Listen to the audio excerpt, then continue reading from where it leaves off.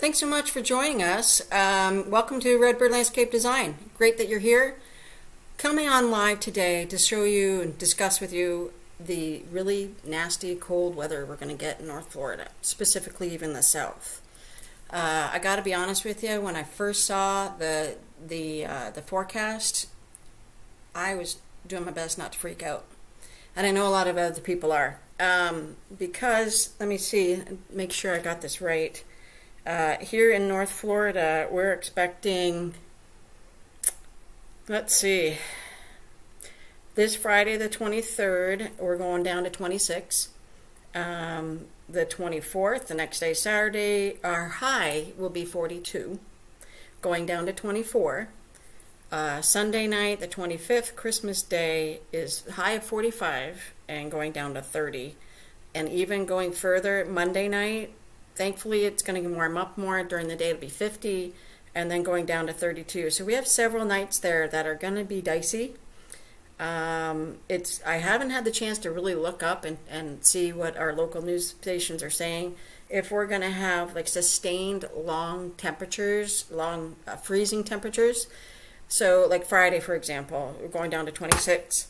So if if that ends up being, oh man, so 45 for the high let's hope that maybe one o'clock in the morning to maybe four or five, we're going to have that 26 below freezing temperatures.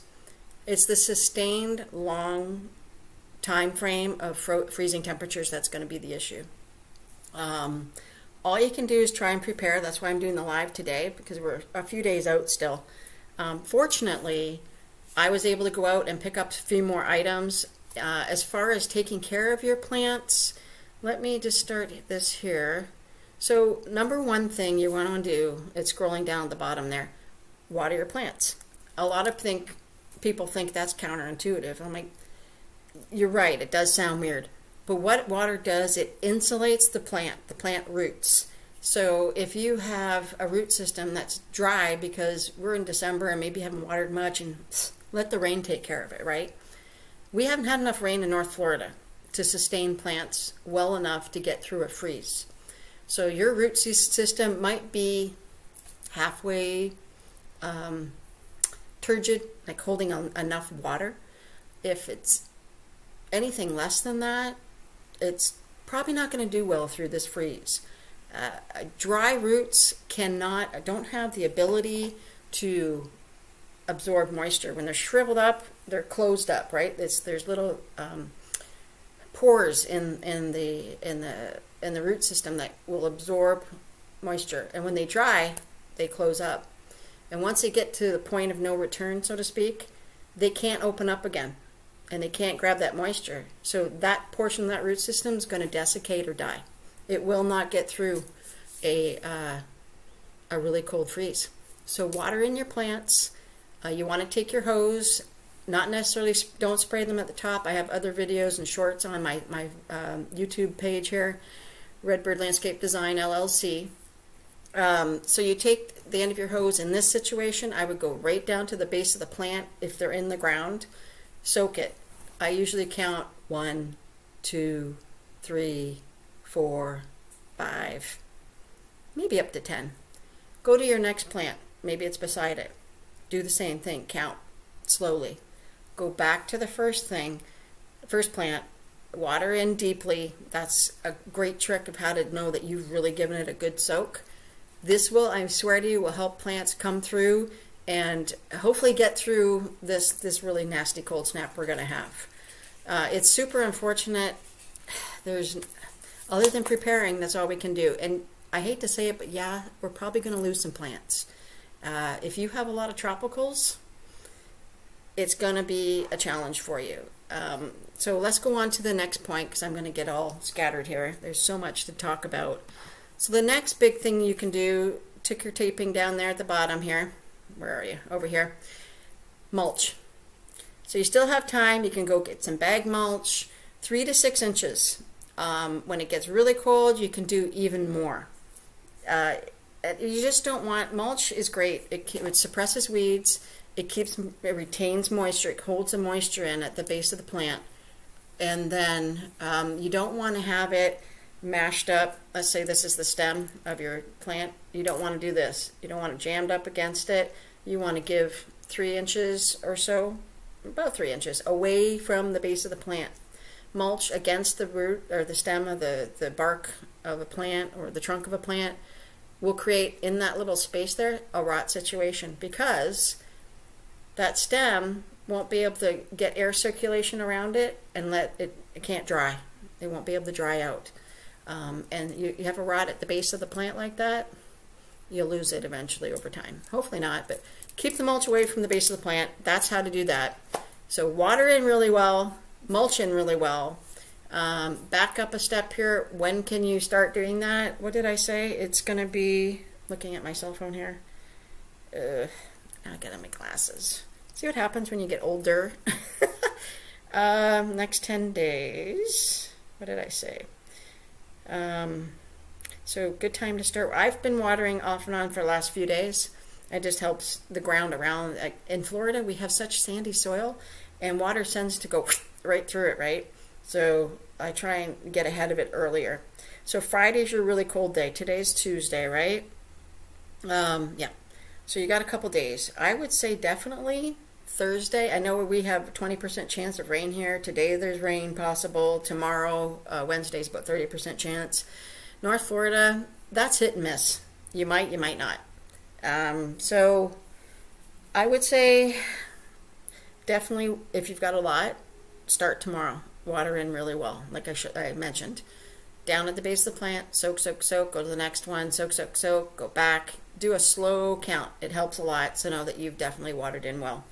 Um, so yeah, I would definitely Thursday, definitely soak your plants Thursday. Okay, and then if you can get out to the stores and get mulch, mulch them in. Uh, you'll see a lot of people online. I just saw somebody saying that's what she was doing over the weekend because she knew it was. Uh, we've had a big heads up, right? Several days of uh, a good timeline to be able to prepare. Um, so take, if you can, go get some bag mulch get some more mulch down after you've watered in. It's easier that way. Um, what else was I going to say? Uh, uh, also, in the same vein of um, of mulching, I have a couple vines. Uh, one's muscadine, muscadine, however you say it, and another table grape variety. I forget what. Um, and I bought those, one of them, from a company called Ison's Nursery in South Georgia excellent company if anybody's interested. They've got fantastic product and plants. I've never had a problem. But anyways, on their page, and I've received an email because I'm on their newsletter list, they are saying to actually put, I wrote this down, I don't want to say it wrong. Uh, Ison said recommended mounding dirt 10 to inches 10 to 12 inches more around the base of muscadine vines to get through this cold snap. Um, you can leave the dirt there until spring. A newly planted muscadine vines or, or vines that are in their first year in the ground, they're highly recommending. It's like a weather alert. And uh, Ison's has been in business doing uh, vines and grapevines for, think this is their third generation. So they know what they're talking about. So they are strongly suggesting 10 to 12 inches of dirt around the base and then remove it in the spring. And I can tell you, I'm going to do that. My vines are, I think, a year in the ground, maybe a little more. It's not going to hurt them. It just adds another layer of protection to the root system. That's the goal with the watering, the mulch, and um, and the soil now that I've told you. It helps the root system and the crown of the plant to survive through the cold. Um, so take a step further, you have your root system. Here's the ground, root system down here. Then the growing uh, upper portion starts there, right up top. This part in the plant, that's the crown. That's where everything starts from. Okay, so the crown, roots down, top growth. If this dies, that's a problem. It, it won't make it, right? So you want to protect the crown. Uh, also, we'll go another step into this. So, what else did I say? Okay, so let's move on to covering your plants. A lot of people have different ways that they do that. I got really funky hair today. Anyways, so cover your plants. Um, you can use sheets. You can use, some people have said put comforters on their stuff. If it's a heavier plant um, with heavier uh, branching structure, you can definitely uh, get away with that. You go, mulch is key, cover your plants. Yeah, try not to let it touch the plant. Um, what happens there is you, how do I say that? So you've got your plant and your coverings on top of it. At that connection point, what can happen is moisture can build up between the covering and the leaves, okay? And it's going to go past freezing. That moisture can and will freeze at that contact point, and then you're going to damage that plant. Potentially, that cold can draw, the plant can draw that cold in and that frozen capacity. Uh, if you think about it, we and plants are mostly made up of uh, moisture, water, and it freezes. So you don't want to touch the plants with your covering if you can help it. Uh, other people have got really big, bigger established plants that can handle that. If you lose a few leaves, not a big deal. It won't. It won't hurt the plant. You won't lose it. That's our goal here: is to try and not lose the plants. Right? Um, just prepare, prepare, prepare. What else did I say? So, what are you going to use? I have, I bought these. This is a burlap bag, got a hole in the bottom. And why use burlap? Because it's breathable. Can you see how it's weaved, right? You can see my hand through there, right? See my thumb moving? So the air will pass through that and it helps circulate air. That's super duper important. Um, that way the plant can breathe through it and at least it's protecting from um, the really heavy uh, cold temperatures. And when you're watering in, you might lose your some top growth, which is probably going to happen. I have a banana tree out in the backyard. Uh, I've also done a video on that. I fully expect the top growth of big, wonderful banana leaves are going to brown up, die, and they're gone. You can't help that. Unless you build, maybe, I haven't tried this, uh, just an idea. You could build a structure and out of wire or, um, I don't know, extra wood that you have and build a structure that you could go around it and then drape like a canopy over top of the banana if it's small enough. I have a Cavendish dwarf intentionally so that I can pick and maintain it so it's not a huge towering tree. If you have a huge towering tree banana, you're going to lose leaves. That's all there is to it. They can't handle those temperatures. They're a tropical plant, right? So tropicals need warm temps. Also, um, as far as banana goes, people are adding extra mulch at the base. Um, they're putting extra layers of mulch and leaves down around the base of the, their bananas. Some people wrap the trunk of the banana. Um, that's all you can do. Uh, wrapping also uh, the trunk. I've seen online. I haven't done this, but some people have take pool noodles, the long foam. I should have brought one in. I forgot so a pool noodle that's made out of styrofoam or whatever it's made out of, they split it, not all the way through, just halfway. So you have, instead of a circle, you have a C. Then you have that little split spot and you can go boink, right over a trunk. Some people swear by it. It works. I haven't done it. It's an idea. Okay, so we did burlap. You can do sheets. A lot of people say, hey, let's use plastic. I wouldn't recommend it. Okay, uh, I'll tell you why. I had to write it down because there's lots of little bits of information. I want to make sure you folks get it. Um, doo, doo, doo. Okay. Um, if you're going to use plastic, it's really hard on the plant. It will transmit cold air to the plants, right? It's it's kind of like a conduit. Um, it can cause more harm than good. Please use fabric cotton, burlap. I have another product I'm going to show you here that I just picked up. Um, row covers, they're made out of, they look like a tunnel. And then you put like a hoop type of thing over top, especially in your vegetable gardens. If you all have veg- veggies still growing, like your greens, carrots, what else is growing right now? Uh, yeah, a lot of greens. They're going to fry. you know, water them in really well too. Not on the top, down the bottom.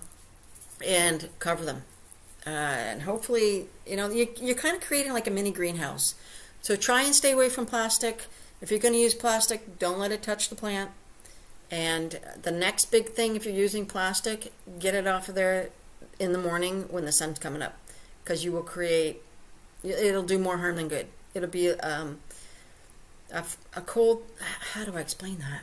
It creates kind of like a greenhouse effect, and it will burn the plant. It will uh, contain that cold air right there, and you'll smother the plant because plastic doesn't breathe. Like I showed you with the burlap and cotton sheets breathe, plastic doesn't breathe, right? So, backing up on covering the plants. Let's see what else. Okay. So, when you're putting a blanket or a sheet, go all the way down to the ground. Secure it if you can. Uh, last year we had cold snap and a little bit of wind, and dang it all, the breeze just enough went flip and lifted up some of my coverings. So, some stuff got burnt where it didn't get protected.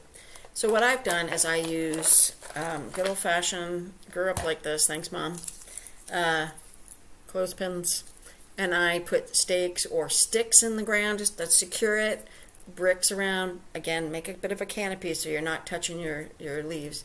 And use clothespins and you just pinch them, right? And it holds it, secures it. Easy, dollar store item, doesn't cost a lot, right? A lot of people are like, oh my God, I've got so many plants and I'm going to spend thousands of dollars trying to cover them.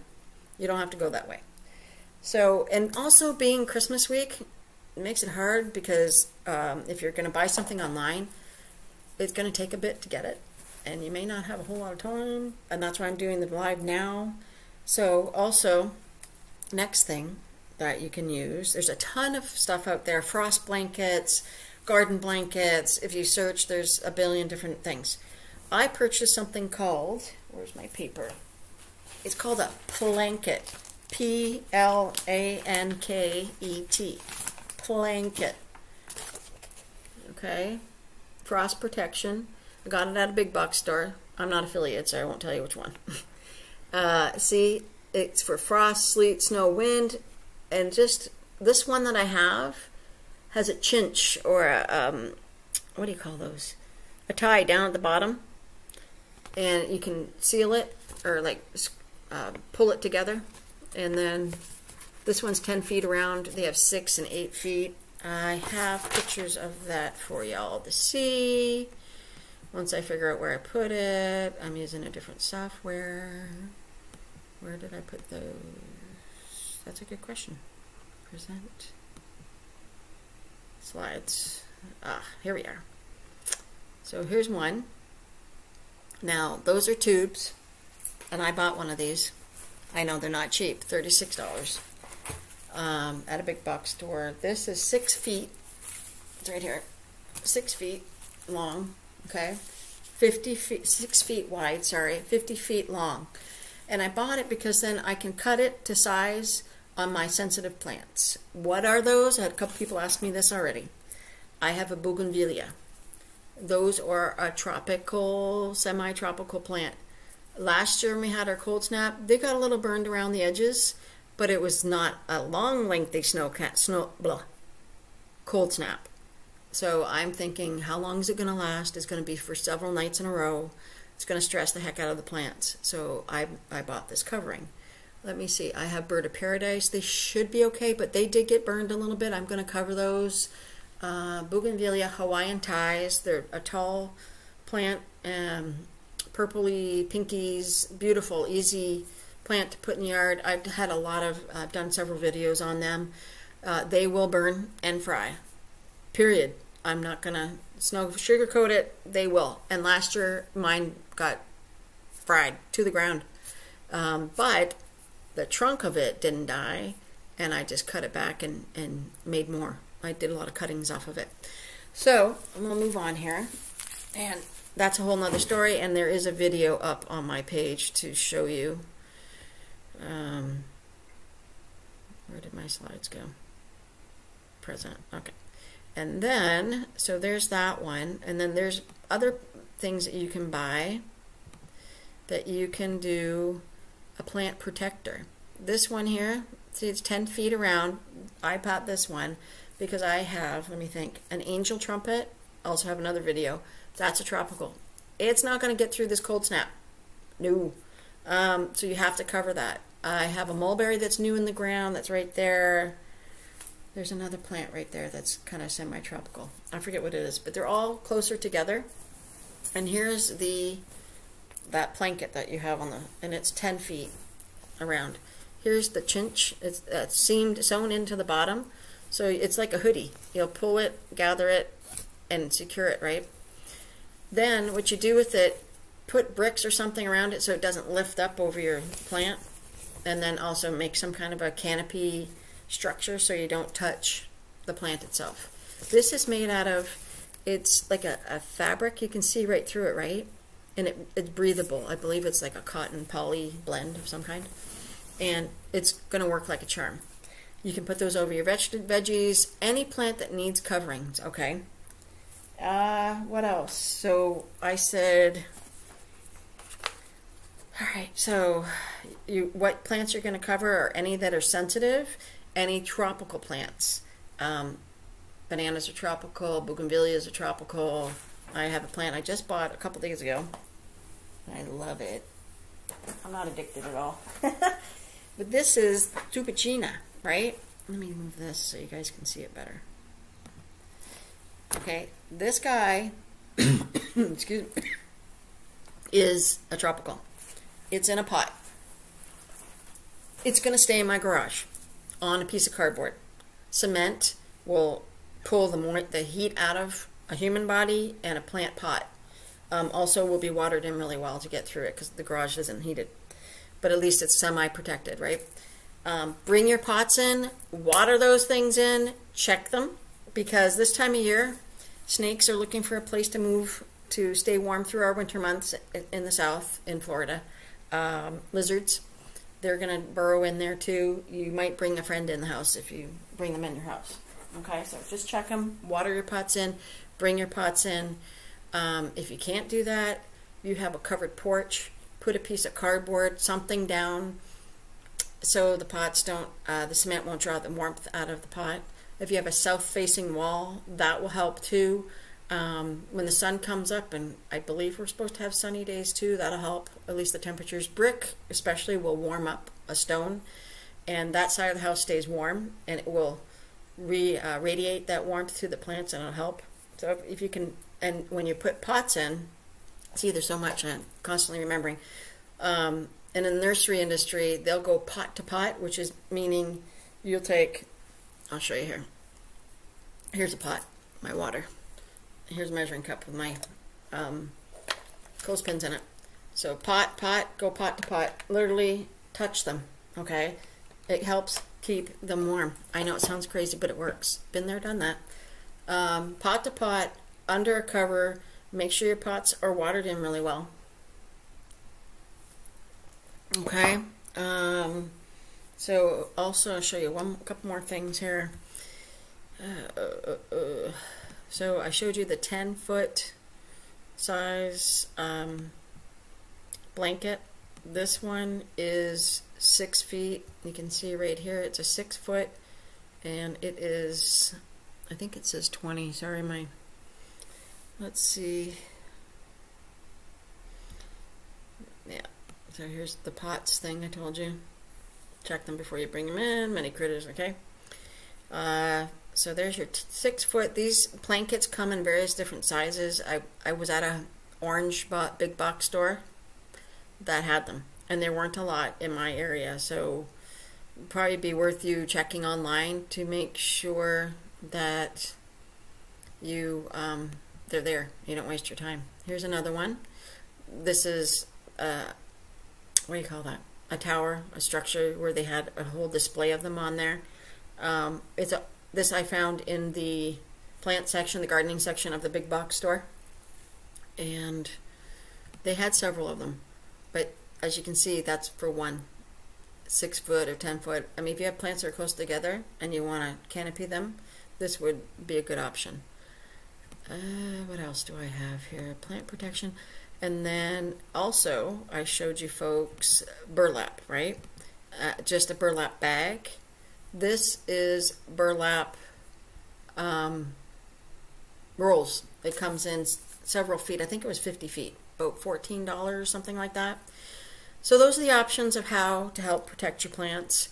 Water them in well, mulch.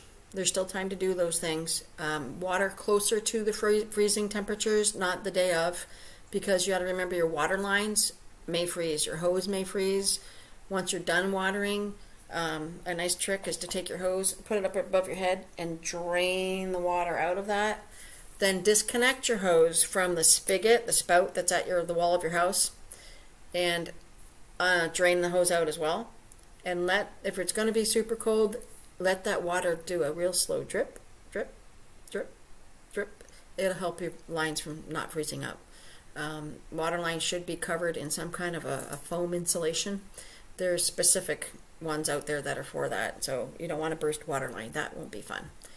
So let's go back here, and then so watering, mulching, muscadine root system as per Ison's in Georgia, 10 to 12 inches around the plant, more soil, it'll help protect them.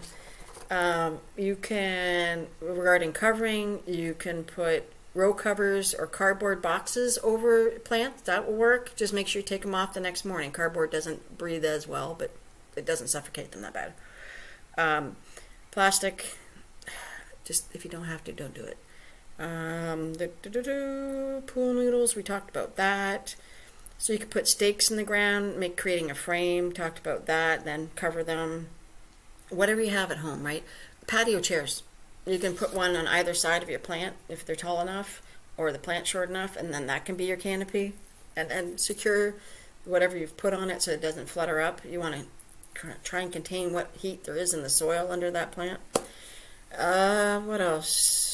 So what plants would be tropicals and sensitives? Um, bring your pots in to sheltered space if you can. Go pot to pot like I showed you. Um, you can shelter them with a tarp. Don't put the tarp on top of the plant. It, like I mentioned, the plastic won't won't do well for the plant. You'll create more harm than good. Water them in really well. Um, told you that. Drain your hoses. Okay, we will be getting some rain. It's not going to be enough. You're going to need to water in, okay? Uh, what else? It's an insulator. Water is definitely an insulator for your plants. Um, also, the plants that are established, that's running down at the bottom there, uh, one and a half years or younger, they're the ones that are going to need protection. And tropicals, obviously, right? Uh, what else can I tell you? Uh, there's the pots information. It's going to take some work depending on how big of a space you have. Um, mine's not that large, but I have a lot. Small space. I need to water in my berry plants. If you have raspberries, blueberries, any kind of berry, they need a good drink too. Mulch them in really well. Don't go up, up against the bark or the stem trunk of the plant. Uh, there's my what? Whoops. What plants? Okay, I think I've covered it all. So try not to panic. I know it's hard. I know, like, you guys, it's it's very um, it's nerve wracking, right? Like, I'm super attached to my plants. I want them to survive. I'm in Florida because of the opportunity that you have a longer growing season and you can plant things like I'm from up north, way up north. I couldn't have tibouchina. It'd have to be a house plant, the purple one I showed you earlier. Um, and there's a lot of things online. Just think it through before you do it. Uh, as far as what to use that you might have in the house, cardboard boxes, um, you could take them apart and rebuild them with other cardboard boxes to make a different structure to help you. Uh, some people are taking milk jugs, the plastic, that, like, what is that, a quart or even a gallon, slice the bottom off that, where it pours, turn them upside down and put them over a plant if they'll fit. That will work. Uh, I think I think that's all I can tell you folks. Um, I hope y'all good luck. You know, like I, I want you all to succeed. Um, I'm trying to make sure I didn't forget anything. But if you guys have any questions, anything that you know something and I missed it, um, hey, we do this in the South and it works. Oh, you could put more leaves down, pile them on. The more the better, right? just remember the next day in the morning when it's warm, um, the sun's coming up. Take your stuff off, right? And just monitor. Um, oh, last thing before I go, you're going to get things that are going to die off. My banana leaves are going to turn brown and, and fall off. It's okay. The point of all this, keep the core, the um, the crown where everything starts, the growing spot uh, for your roots and your uh, top growth. Keep that warm. Keep it watered in, and your plants should come back next year or after the frost and the, the, the cold. Um, if it's something like leaf lettuce, you're going to lose it if you don't cover it, right? Because it's a very small, dainty, sensitive plant that needs warm temperatures, right? They don't grow um, any kind of greens in the north this time of year. There's snow on the ground, the ground's frozen, right? So cover your stuff, water mineral, mulch. Uh, wait. When you lose things, you're going to, okay? I hate to say it, but 20 degrees for a long period of time, if you just do the best you can, uh, but don't cut things back right away, okay? Some stuff will look like, oh my God, it's dead. Oh man, I'm going to lose it. Give it time, okay? Especially in the south. We're going to warm up again, and those babies will pop new growth, okay? Wait to see that it's going to do that. If it doesn't start popping new growth, you've lost it. So hopefully that won't happen. I hope y'all can get through the freeze. Keep yourselves warm. Bring your pets in, please. Don't leave them outside in the cold, especially from the south. They're not used to this. They're not from uh, Minnesota or Michigan or wherever. I mean, that's a whole other story. I don't think animals should be out in the cold. But regardless, um, bring your pets in. Make sure your water lines are covered up. Drain your hoses when you're watering in. And uh, good luck. Please send me an email or uh, go to the YouTube page. There's lots of opportunities, ways for you to get a hold of me if you have questions. Any specific plants. In doubt, look up the plant online. Is Tibouchina a tropical? Can it get through a frost? Uh, will Bird of Paradise get through a freeze? Will my banana tree, how do I protect it? We've got the world's biggest library right here in front of us, right? So use it to your benefit, to your advantage. Reach out to me. I'd be happy to help. And uh, good luck. Keep yourselves warm. Stay safe. Bring your pets in. And I hope you all get through this. We'll see you on the other side of it. Um, good luck. Thanks for watching. We'll talk to you soon. And I will see you um, in the future. Watch for our videos and our shorts.